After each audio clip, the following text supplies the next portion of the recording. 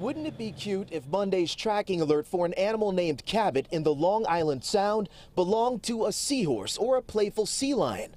Well, no such luck. Cabot is a great white shark, nine and a half feet long, more than 500 pounds, and he's the first to the Long Island Sound, specifically near the coast of Greenwich, Connecticut. I doubt it's going to come all the way up here. I guess it's one, one in a million chance that it will actually eat me.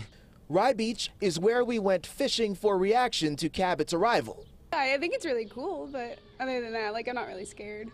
These images from Cabot's initial tagging last year, way up north in Nova Scotia. Yes, he's a traveler, and he's popular, so much so that web traffic bogged down OCEARCH's live web tracker. The fact that you have an apex predator, the lion of the ocean, a white shark in there, means you've had tremendous success over the last decade of cleaning up that sound and bringing back a lot of the life. So it really is a great story and something to be celebrated.